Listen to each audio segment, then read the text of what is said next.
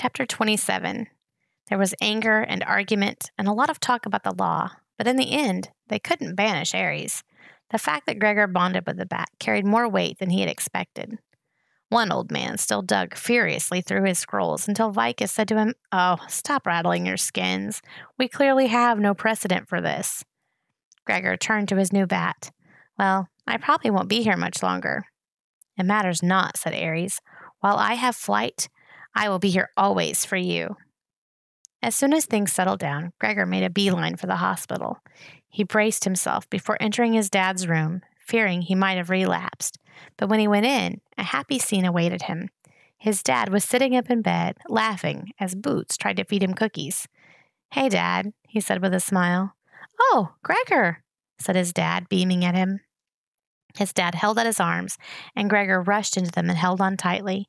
He could have stayed there forever, but Boots was tugging on them. No, Gigo, Dada eat cookie, she said. The nurse told her to make me eat, and she takes her job very seriously, said his father with a smile. You feel okay? asked Gregor, not letting go. Oh, a few square meals, I'll be good as new, said his dad. They both knew it wasn't that simple. Life would never be the same again, but they would have their life back, and they would have it together. Gregor spent the next few hours just hanging out with his dad, Boots, and Temp, who came in to check on the princess. He wouldn't have asked his dad about his ordeal, but he seemed eager to talk. That night, the night I fell, I couldn't sleep. I went down to the laundry room to play a little saxophone.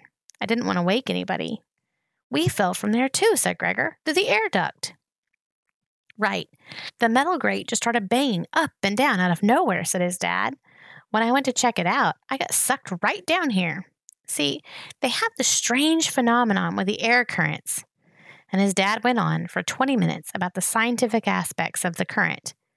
Gregor didn't know what he was talking about, but it was great just to listen to him. I was in Regalia for a couple of weeks, and I was just going crazy missing you all. So one night, I tried to escape with a couple of flashlights and a BB gun I found in the museum. Rats got me before I made it to the waterway, said his dad, shaking his head.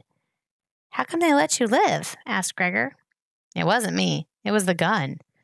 After I ran out of ammo, they closed in on me. One of them asked about the gun, so I just started talking a blue streak about it. I convinced them I could make them, so they decided to keep me alive. I spent my time making weapons that I could use, but that fell apart when the rats touched them a crossbow, a catapult, a battering ram. Lucky thing you showed up when you did. I think they were beginning to suspect I was never going to make them anything that worked twice, said his dad. I don't know how you stood it, said Gregor. I just never stopped believing I'd get home again, said his dad. A cloud came over him, and he had a lot of trouble getting the next question out. So, how's your mom? Probably not too good right now, said Gregor, but she'll be fine once we get you back. His dad nodded. And you? Gregor didn't talk about any of the bad stuff, just the easy stuff. He told his dad about track and school and playing his saxophone at Carnegie Hall. He never mentioned spiders or rats or what he'd been through since his dad had disappeared. They spent the afternoon playing with Boots, trying to make each other eat, and often, without any particular reason, reaching out to touch each other. Dulcet showed up eventually and insisted Boots and his dad needed rest. So Gregor wandered off into the palace, feeling happier that he had in two years, seven months, and he no longer cared how many days. He was done with the rule now, for good. Even if times got bad, he would never again deny himself the possibility that the future might be happy, even if the present was painful he would allow himself dreams. As he was making his way back to his bed, he passed the room he'd been taken to as a prisoner the night he'd tried to escape Regalia. Vicus was sitting at the table alone, surrounded by piles of scrolls and maps. His face lit up when he saw Gregor, and he waved him into the chamber. Come, come, we have not yet spoken since your arrival, he said eagerly. How does your father? Better, much better, said Gregor, sitting across from Vicus. And the princess? said Vicus with a smile. She's good. No more fever, said Gregor. For a minute they just sat there, not sure where to begin. So, warrior, you leaped, said Vicus. Yeah, I guess I did, said Gregor, grinning. Lucky Ares was there. Lucky for Ares, too, said Vicus. Lucky for us all. Know you the rats are in retreat? Mareth told me, said Gregor. I believe the war will soon be at an end, said Vicus. The rats have begun to battle one another for their throne. What about Ripred? said Gregor. I have heard from him. He is assembling a party of rats sympathetic to his cause in the Deadland.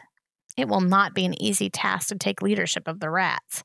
He must first convince them that peace is desirable, and that will be a long struggle. Still, he is not an easy rat to ignore, said Vicus. I'll say, said Gregor. Even the other rats are afraid to fight him. With good reason. No one can defend themselves against him, said Vicus. Oh, that reminds me. I have something for you. Several times on the journey, you made mention of your lack of a sword. The council asked me to present you with this. Vicus reached beneath the table and brought out a long object wrapped in a very thick silk. Gregor unrolled it and found a stunningly beautiful sword studded with jewels. It belonged to Bartholomew of Sandwich himself. It is the wish of my people that you accept it, said Vicus. I can't take this, said Gregor. I mean, it's too much. And besides, my mom won't even let me have a pocket knife. This was true. On Gregor's 10th birthday, his uncle had sent him a pocket knife with about 15 attachments, and his mom had put it away until he was 21. I see, said Vicus. He was watching Gregor carefully. Perhaps if your father kept it for you, she would allow it. Maybe. But there's another thing, said Gregor.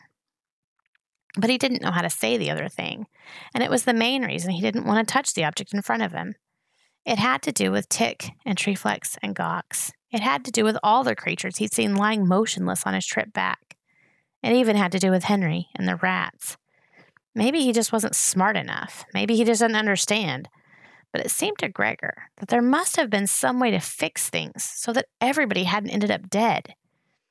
I pretended to be the warrior so I could get my dad.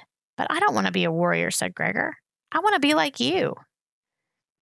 I have fought in many battles, Gregor, said Vicus cautiously. I know, but you didn't go looking for them.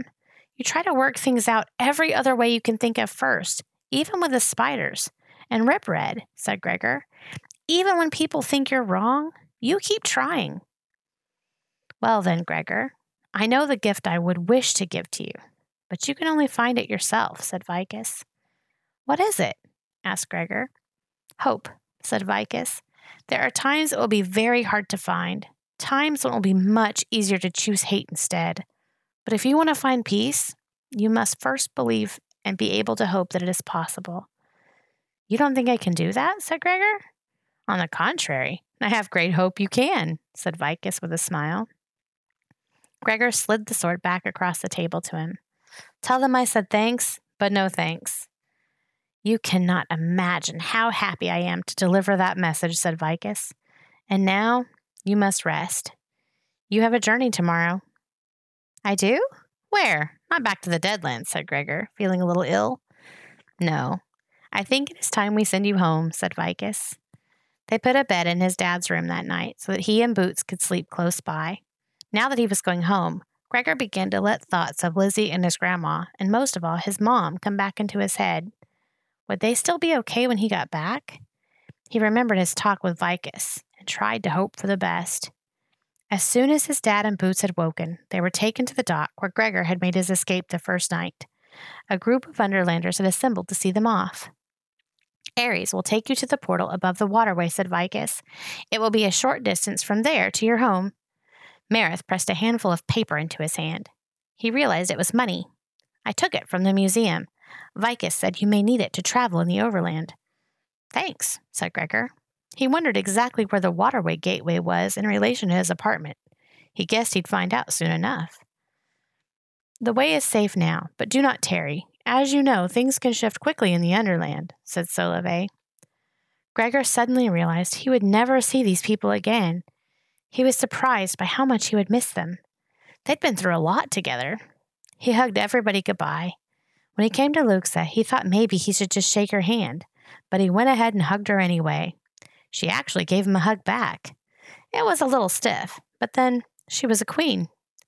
Well, so if you're ever in the Overland, drop by, said Gregor. Perhaps we shall see you here again some day, said Luxa. Oh, I don't know. My mom's probably going to ground me for the rest of my life just to keep me safe, said Gregor.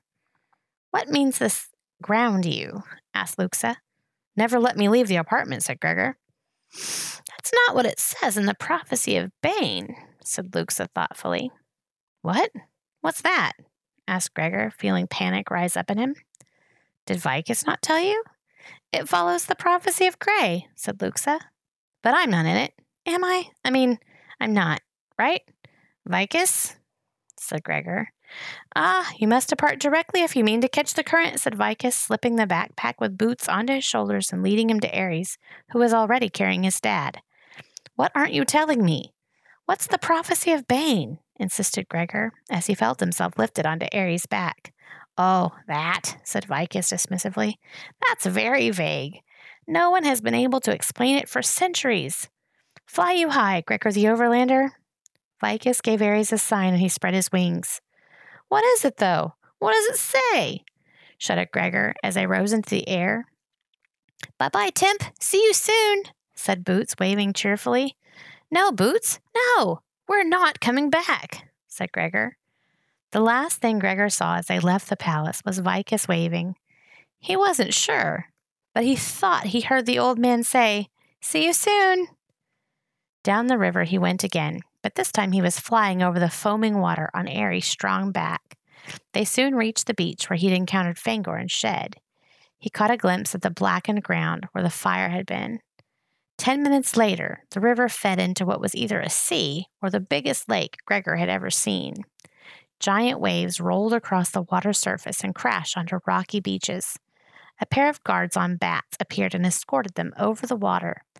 Gregor didn't see any rats around, but who knew what else might be down here looking for a meal?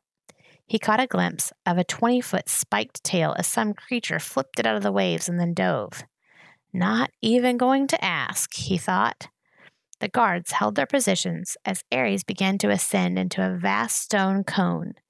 At the base, it may have been a couple of miles in diameter. A strange, misty wind seemed to be blowing them upward. Must be the currents, thought Gregor. Ares flew in tighter and tighter circles as they ascended. He had to close his wings to squeeze through the opening at the top. Suddenly, they were zipping through tunnels that looked familiar. They were not built of stone, but of concrete, so Gregor knew they must be almost home. The bat landed on a deserted stairway and nodded his head upward. I cannot go on further, said Ares. This is your way home. Fly you high, Gregor the Overlander. Fly you high, Ares, said Gregor. His hand wrapped tightly around Ares' claw for a moment. Then he let go. The bat vanished in the darkness. Gregor had to help his dad up a long flight of stairs. There was a stone slab in the ceiling at the top. When Gregor pushed it aside, a wave of fresh air hit his face. He pulled himself out, and his fingers found grass. Oh, man, he said, hurrying to help his dad out. Oh, man, look! Moon, said Boots happily, pointing to the sky. Yes, moon, little girl. Look, Dad, it's the moon. His dad was too winded by the climb to answer. For a few minutes, they just sat in the grass, staring up at the beauty of the night sky. Gregor looked around and realized by the skyline that they were in Central Park. He could hear the traffic just beyond a row of trees. He slid the stone slab back in place and helped his dad up. Come on, let's grab a cab. Go see Mama, Boots? he asked. Yes, said Boots emphatically. Go see Mama. It must have been very late. Hardly anyone was out on the streets, but a few restaurants were still open. It was just as well, since they made a funny sight, all dressed in their Underland clothes. Gregor flagged down a cab, and they piled into the back seat. The driver either didn't notice or didn't care how they looked. He'd probably seen everything. Gregor pressed his face against the window, drinking in the buildings, the cars, and the lights, all those beautiful lights. It seemed to take no time at all to reach their apartment. He paid the driver and added a huge tip. When they came to the front door, his dad pulled out his keychain, the one Gregor had made him, from his pocket. He fanned out the keys with trembling fingers and found the right one. For once, the elevator wasn't broken, and they rode up to Gregor's hall. They opened the apartment door softly, not wanting to wake anyone. Gregor could see Lizzie asleep on the couch. From the bedroom, he could hear his grandma murmuring in her sleep, so she was okay. A light was on in the kitchen. His mother sat at the kitchen table, as still as a statue. Her hands were clasped together, and she stared fixedly at a small stain on the tablecloth. Gregor remembered seeing her that way so many nights after his dad had disappeared. He didn't know what to say. He didn't want to scare her or shock her or even give her any more pain. So he stepped into the light of the kitchen and said the one thing he knew she wanted to hear most of all in the world Hey, Mom, we're home.